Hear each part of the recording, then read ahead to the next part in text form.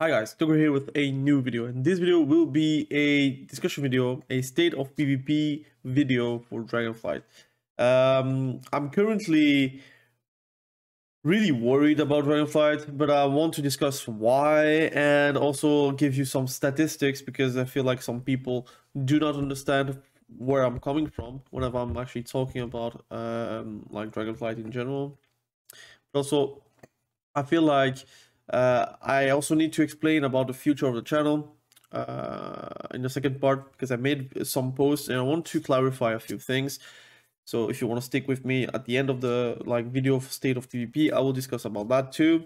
So the state of PvP currently in Dragonflight is in a horrid state. What am I actually saying by that? In 2v2 the bracket is kind of dead. In 3v3 it is kind of dead especially at higher mmr because the mmr is currently um, i would say frozen at higher level of games. So once you have reached a certain mmr threshold you do win quite frankly no mmr or cr so it means that you can only lose things so if you win, you will maybe get like a few points or even no points, especially in Solo Shuffle.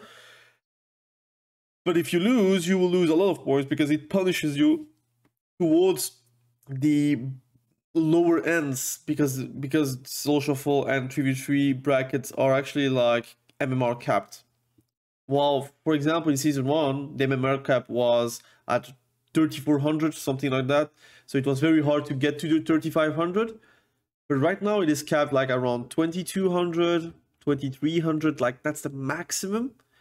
And some people really struggle to go higher because again, if you want to go higher, you need to go 6-0. And even if it's 5-1, it's going to be 0 CR gained.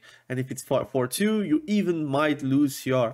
So that's the problem. A lot of like uh, high-end PvPers are actually talking about that. Again, it's not even like applicable to everyone because not everyone is high end. I'm not even high end because I, again, have some issues with queue times, but that's another issue. Uh, that I want to discuss a bit further down in the video. But currently, the MMR cap is actually killing the brackets as a whole, which means also that people are going to re-roll to go to the lower brackets to be able to play the game and get rewarded. So you will face pros, you will face rank ones, you will face people that are much better than you on the MMR thresholds that they should not be. And that's the issue that Blizzard actually put in Season 2 for some reason. Um, I do not know why they actually did that because they actually talked about uh, removing, like not in removing, but increasing the inflation so that people can climb much faster in the beginning of the season. But it feels like it is not really the case. It feels like currently we are reliving season two, but even in uh, season one, but even in a worse state. Also, participation wise, you can see it on this website. So you can go on Drustvar, stats, Dragonflights, ladder stats. You can also go to the solo Shuffle stats. You can even go to activity. You can play around it. You are going to be mind blown that in 3v3 EU last seven days in the top thousand and top thousand is not like a lot. There's only like 878 ranked players in EU. I'm going to do top 5000. It is not going to augment because it is top 1000. It's going to be this is the total players currently playing this seven last days. It's abysmal. Top 5000 means that that's the whole pool of players in EU that plays 3v3. 4,133 ranked players. That's mind boggling. And it's really unfortunate because I think the gameplay is not that bad. I think it has nothing to do with gameplay. It has only to do with, I would say, marketing. It has to do with communication. It has to do with, of course, healers not being like very inclined to go heal or players not really inclined to play healer. I already made a video about it. Even I am not inclined to do to play healer and there is no gold incentive that can actually put me into a healer position, but that's another discussion. This is really low. Even previous season, season one, at the end of season one, where everything was already like played out, so there was no nothing to play for except maybe the people who are actually pushing for Glad. The activity was much higher. It is really abysmal. Last seven days, it means last reset. It means we are now Friday. So it means from Friday to Friday, which is normally something that should be again representative of the amount of people actually playing currently in the game. It's not like last day or last 48 hours because that would be even worse. It is the last 7 days. And I want to see 2v2 because I, I didn't see 2v2. I only saw 3v3v3. The representation in 2v2, I am really, really looking forward to see it. Let me see the 2v2 bracket. It's even lower it's 4,077, 4,081 ranked players. You do understand that 2v2 normally is one of the most popular brackets, the most played brackets in PvP normally. If you go on Wrath of the Lich King, you will find more players in 2v2 than in 3v3. Even in previous seasons, even in previous expansions, 2v2 was the bracket that people played because you don't really need a healer. There's a lot of classes that can play double DPS. There's a lot of classes that actually like to like. There's also a lot of people that do like to heal like two v two because it's less stressful. That's it. Like for for me, two v two is more fun because I can actually participate doing damage as a Resto Druid, for example. I can go scout form, do my bleeds, and go out. So that that's still a possibility. But we have less players in two v two in EU, of course, in US, I don't know. I'm, I'm, I'm gonna I'm gonna check again. It's not joined, so US and EU do not play together. They have a bit more players in US, so the game is more popular in US than in EU. So again, US have normally less players than EU in general. If you go on like uh, I would say how it's called. Um, if you go on League of Legends or Valorant or CSGO, whatever online game there is, US, at least the US servers never have many more players than EU because EU pool is sh- should be higher because you have the Russians sometimes you have uh not not sometimes it's always by the way um you have the Russians you have the Dutch the Dutch you have the Germans you have the French you have the Belgian like me for example uh like Spanish you have many players in EU while in US you they're limited with maybe Canada I would say US and I'd say maybe some Mexicans here and there. And then you have like these uh, like South Americans. I don't know if they are playing on US servers or if they have own servers, but still little man. It's four thousand two hundred players, so there is something wrong. And like I said, it's basically communication. It's basically their marketing being drastically bad. Again, if you do remember the tweet the tweet that they actually made, like the PvP poll thing, I mean, guys, I know that it was a joke. I I was kind of laughing because I saw myself like, look, I know PvP is not their focus. They're laughing at me. I'm laughing too because why am I playing that game? Because I do love that game. Why do I love that game? That's a whole discussion I give to myself. But it's kind of telling how frustrating it is to actually play that game because we are not considered as a uh, whole part of the game. There is no PTR testing for PvP. There is no pure blue post about the state of PvP. There is always a blue post about Mythic Plus or raiding before the season starts because they do want it to be correct and good.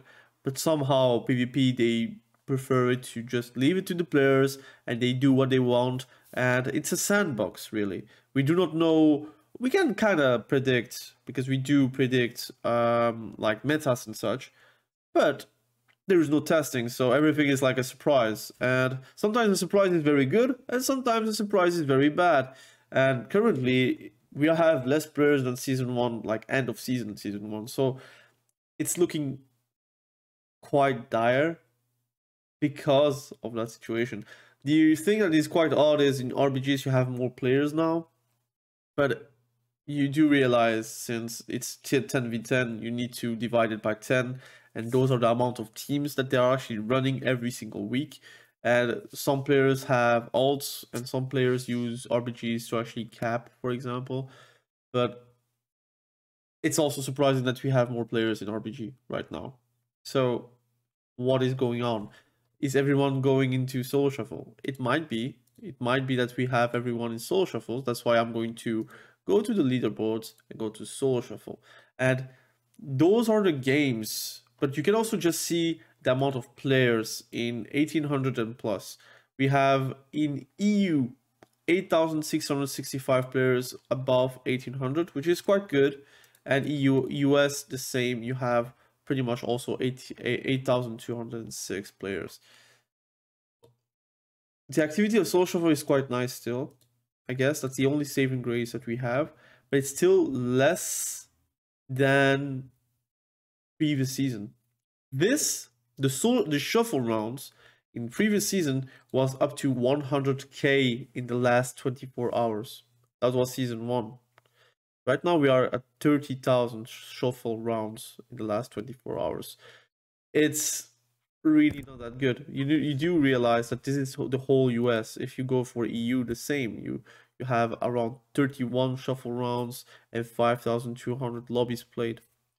So I'm very very scared about how they are actually dealing with things because again they are not really looking into um, communicate about like shuffle. Hopefully tonight, maybe we are Friday. There is always something going on on Friday. Hopefully some PTR testing, not PTR, but some uh, blue post about like changes that they want to make. But it's kind of telling that they are always like shoving it to the next patch. 10.1.5 is going to be the patch where solo shuffle will be better. That's what they said. But they said that for 10.1 as well. So now we need to see what is going to be better what is going to change to get it better. And on PTR testing, what do they get? They get like something like extra, I think, which is like an extra box or something. It's it's really little, too little for healers to actually be incentivized. And to be honest, there's no real incentive incentive incentives that actually can be brought to the healers to actually come PvP. Um, I think there's multiple things that can help the participation to go higher, but that would be drastic, at least on the amount of changes that should be made. And I do not know if Blizzard actually wants to make so many changes. And right now, it feels that everything is slowed down because of the Microsoft uh, Microsoft merger. I feel like communication is way off. I feel like they also missed the point with a lot of things. Like for example, the token. I think it's the worst ever uh, timing that they actually choose for uh, to, to, to put the token out. I think right now we are in a state where everyone is wor- waiting for Hardcore Classic and they put it out like nobody will actually like talk about it and then everyone got like super negative comments about it. I get, got my comments as well on the video. Uh, I do think that token uh, doesn't help but I do also think that there is many things that can't really help for RMT except banning the players that actually buy golds but that's a whole other uh, video again I, I posted it so if you want to check that out you can also check that out um, but personally uh, i'm very scared about dragonflight. I do want to reiterate i think it is the best pvp expansion. I think gameplay wise it is also a lot better than shadowlands. It's a lot better than bfa and it's a lot better than legion in my opinion because legion had templates. If legion hadn't like templates and just normal gearing, I think Legion would be the best, at least compared to what we have right now. But Dragonflight, the issue is a lot of player players are leaving the game, and there is always a reason why people leave the game. It's not because the game is boring. It's not because uh, that there is something wrong with like the systems because that's not the case. People left Shadowlands because of those things because the gameplay was not that really like cool because of double outlaw. If you do remember, for example, season three or a Torghast in season one and season two being like very very chory. Although season two it was uh, like an improvement, but season one was really a chore. But season one Shadowlands had a lot more participation in general. I think if you put Soul in season one Shadowlands, it would crush the numbers that we actually have in Dragonflight. I think the issue is right now we need to have some kind of like decisions com- coming for PvP, uh, and we need communication about that. And for now, we do not get that, so we will have to wait for AWC probably to to get any information about what they want to do with PvP. Uh, it will like again be a bit long to actually wait about it, but we'll see. There's Diablo 4 coming out in like one week and a half, and that's a problem because once Diablo 4 is going to come out, once other games are actually catching up or anything is catching up, you will see the numbers from Dragonflight actually bleed. And I think right now we're bleeding. And I do love Dragonflight. And I said that I would like take a break for making videos about Dragonflight because of the social shuffle queues. And I did not really enjoy uh, waiting in those queues. And I enjoyed my time. But I, like I said in a post, like my latest post, I think it was a too oh too big of an emotional reaction from me. Uh, I feel like I kind of let down a lot of people because of that. I also had a lot of conversation about it with a lot of people, and in my opinion, I think I should keep Dragonflight content still uh, relevant on my channel. So you will still see PvP guys, you will still see gameplay somehow, some way. So if it's a BG or a social or world PvP, it will be gameplay. I will maybe make more casual guys about specs that I'm not really a, a, a, great player on, but I can really explain what is the, the goal of, of that set spec, for example.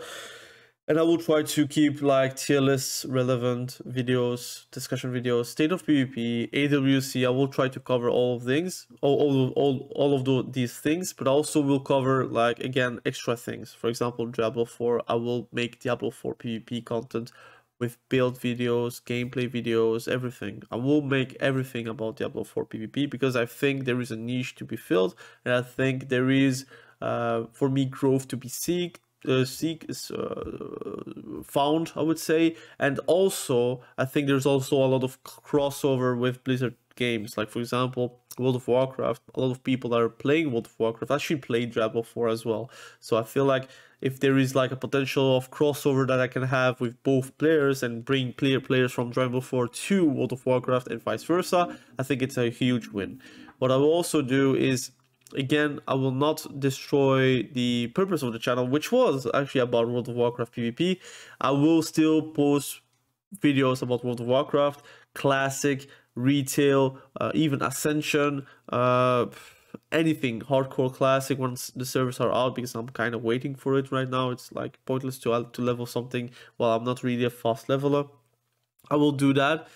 But I will also like add other things like for example other MMOs that are coming out uh, which I think uh, would be like a good addition to the PvP scene, for example, or something where I see potential in where there is growth to be had, but I will not destroy the whole uh, videos about Dragonflight. So I will make still videos every week about uh, about Dragonflight, but I will probably uh, share it with a bit of um, uh, time, I would say. So video uh, video credits. So I'll, I will talk about credits. Like for example, if I have like seven videos every week, there might be like four videos of Dragonflight or three videos of Dragonflight. I will have like four or three videos about everything else like for example diablo 4 or for example ascension or for example classic or classic hc for example so i will do something like that with the channel um, i also said the reason why I will do that is because I'm actually very afraid of Dragonflight.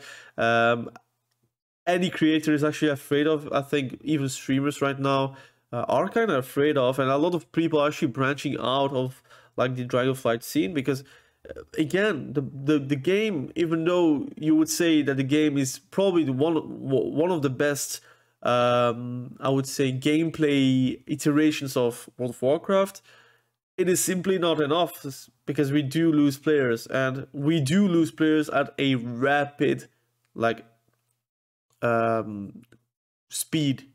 So it it will be it will be very very annoying to be making only dragonflight uh, content and then have like kind of the, the, the uh, like i would say no fail safe or no uh, landing on the feats i would say whenever Dragonflight is over, for example, whenever like World of Warcraft is in is an in a inevitable dip, which is going to happen. I think the the content um, succession that we get for like Dragonflight is very fast. So that's a very good thing.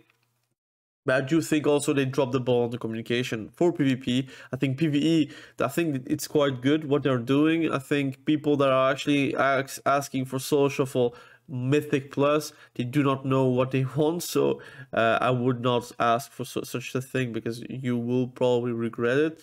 Um, you you will queue up, but you will have longer queues than just looking for LFG. That's what I'm saying. Um, so I'm uh, actually like looking forward to the future of the channel. Right, I'm trying to uh, build my current viewer base with like Dragonflight, but I also want to have like a, a future viewer base on a other game, for example, or another genre of game. Um, right now, I do love World of Warcraft. I am passionate about. I'm very saddened of the actual state of World of Warcraft, actually retail, uh, because uh, I see it with my own eyes. I see it with stats. I see, I feel it also that it is in a worse state. I would say with players and population than Shadowlands, where debatable you can also do not like Shadowlands, for example, and Dragonflight is debatable, like again, but it is the best expansion for PvP since ages. Um, I would say Mists of Pandaria is very close, but even then, I would say the Dragonflight is probably better it's so weird to me that we lose players because there is no incentive to actually have those players into inside the game. And i know that gearing is easy. I know that people do love the gearing and do love that the easiness of having like two hours to grind honor and you will get your gear. It's very good. I also love that because i have like so many classes to level. So it's it gives me time to actually have a lot of gear on a lot of toons. But i do also see that players are leaving because there is no incentive for the for them to leave uh, to play. And i know that some people do not understand why i'm saying like look um, i prefer players to be kind of obliged to play the game. But that's a bit the case right? People are just not obliged to play because they had everything handed to them and they can be gone. While in pve they have to work very hard to get gear, which is unfortunate for them, but uh, it's a progress, it's an RPG, so that's also the reason why you're playing the game. And I feel like if PvE actually had to grind a bit of PvP, that would like add the numbers and the whole cycle of the PvP scene would be better or better off. And that's the thing about uh, current World of Warcraft. I feel like there is many things going on and what I would like to see is some communication from Blizzard uh, one way or another. They could, they could also just say, look, we looked for a solution for Solo Shuffle. Unfortunately, there is no solution. They could also just drop the, like, throw the towel, right? You could just say, look, uh, we tried everything. We could try everything, but it will bring bots because, again, if gold, golds was a possibility to gain. You will see a lot more healers that are bots, but really bots, and they will face each other. So obviously one bot will win and one bot will lose. And they will get the gold and they will then sell it to players or whatever they can do with that gold, right? So I feel like gold is really not the only option that you can have because it it will just bring bots into PvP. That's what I think, really think. If if it's a viable way to actually farm gold, um, that viable way, we be will become bot bot land. So uh, I would like to to see something else. But they would they would say, look, we tried everything about social Solo Shuffle, and really it's only just healers are not that popular in our on our games, and it, it just is what it is. So you have to deal with it or roll a healer if you want to have faster queues. They could just say that, and it's already plentiful to know uh, what, where we are going. But right now, we do not know where we're going. We don't even know if they have a solution or not, and we do not even know what is going to be the future of World of Warcraft. So that's the issue I have. Uh, so right now, I'm struggling with that, but I'm trying to work it on and uh, out, and I try to. Um, yeah, to look for uh, future content that can be done on my channel Uh, I will keep on doing like World of Warcraft retail because again, that's something I'm very passionate about. So again, I'm I'm going to work on it. But I will try to also listen to my to the feedback that I do get uh, from my viewers and from my subscribers and from uh, my uh, donators and members and I will try to uh, again grow the community, grow World of Warcraft however I can, make it happen, make it help, uh, like I would say the PvP scene, and uh, look also forward a bit forward with other games, for example Diablo 4 PvP or other games that can actually come out and maybe overtake World of Warcraft, which is still a possibility. Anyways, Thank you for watching this video. I really appreciate you. Be sure to subscribe to the channel if you haven't done that yet. We will catch each other very soon in the next video. Have a great day. Bye.